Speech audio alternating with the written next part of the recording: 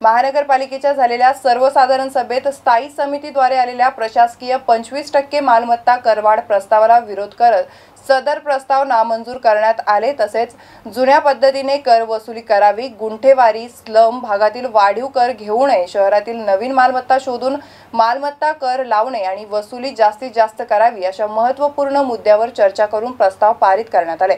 सातारा देवळाई भागात चालू वर्षापासून कर आकारणी करणं अशा सूचना महापौरांनी प्रशासनाला दिल्या आहेत आज महानगरपालिकेत झालेल्या सर्वसाधारण सभेत औरंगाबाद शहराचं नामांतर व्हावं यावर सदस्यांनी गदारोळ केला. गदारोळ शांत झाल्यानंतर कामकाजाला सुरुवात झाली. त्यात प्रामुख्यानं ताई समितीकडून शिफारसीवरून आलेल्या पंचवीस टक्के मालमत्ता करात वाढ या प्रस्तावाला सर्वसाधारण सभेनं नकार दिलाय. तसंच कर वसुली ही जुन्या पद्धतीनेच करावी आणि स्लम भागातील वाढीव कर घेऊ नये. तसेच शहरातील नवीन मालमत्ता शोधून कर लावा आणि जास्तीत जास्त वसुली करावी. तसेच पुलवामा पुलवामा हल्ल्यात शहीद झालेल्या सैनिकांसाठी महानगरपालिकेतील सर्व नगरसेवकांचे एका महिन्याचे वेतन आणि कर्मचाऱ्यांची एक दिवसाचे वेतन जे कपात झाले असून आतापर्यंत सैनिकांच्या खात्यात पोहोचलं नाही त्याचा निपटारा लवकरात लवकर करावा. ज्या वार्डामध्ये स्ट्रीट लाईट्स ह्या सात दिवसांपासून बंद आहेत त्या चालू कराव्यात. अधिकाऱ्यांनी नगरसेवकांचे फोन उचलावेत अशा कडक सूचना महापौरांनी अधिकाऱ्यांनी दिल्यात. तसेच नामांतर हा मुद्दा